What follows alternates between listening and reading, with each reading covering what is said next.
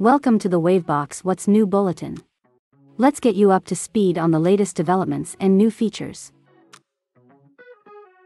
March has been a whirlwind of ChatGPT developments with the release of Brainbox and Flow.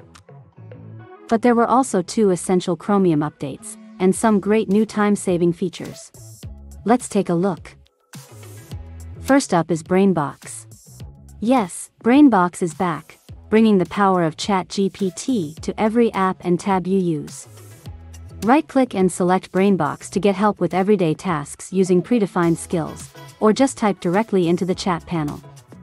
You can also customize skills and create new ones in the admin portal, so you can use them again throughout your day, and even share them with your team.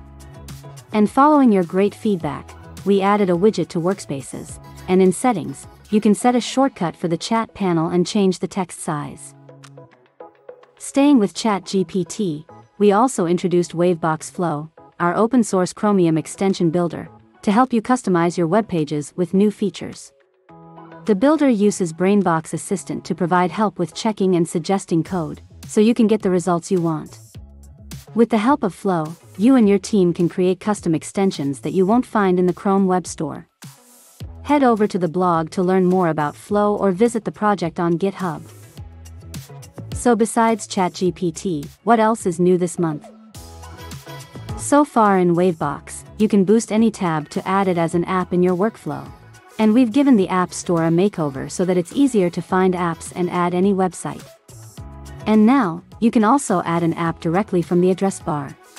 Just start typing the name of the app you want, and click on the listing to create a new group at the bottom of the web dock, then drag and drop the group to where you want it. And have you seen the new Masterclass tour? It's aimed at new users, but now anyone can restart and take the tour. Search for Masterclass in Settings, and click on Restart. And if you use multiple profiles, you'll find a selection of new profile avatars to choose from in settings. And finally, why not give the new navigator a try? It's a visual map of everything you have in the browser, and a great way to get around. That's all for this update. Subscribe at Wavebox.io for the latest news, and visit wavebox.io slash download to begin your Wavebox journey.